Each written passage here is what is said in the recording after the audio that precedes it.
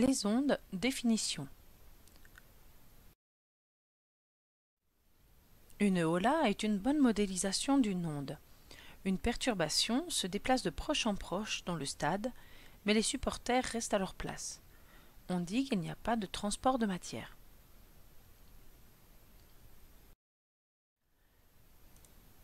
Une onde qui se propage à la surface de l'eau déplace le carnat verticalement, mais à la fin, il reste toujours dans la même position.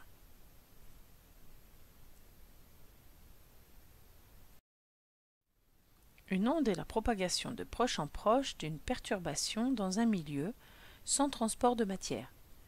Si la perturbation est périodique, l'onde est périodique et caractérisée par sa fréquence f et sa période T.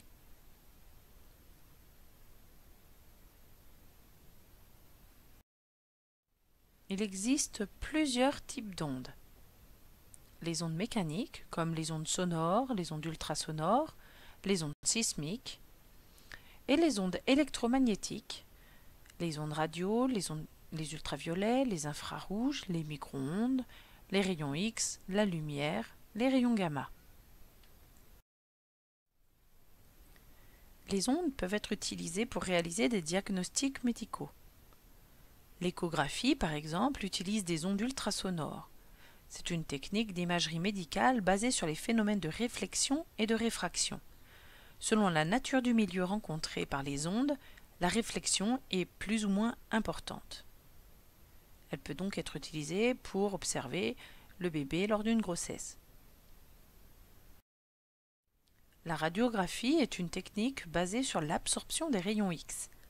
L'onde est plus ou moins atténuée selon la nature du milieu rencontré. Les zones claires sur l'image sont les zones de forte absorption.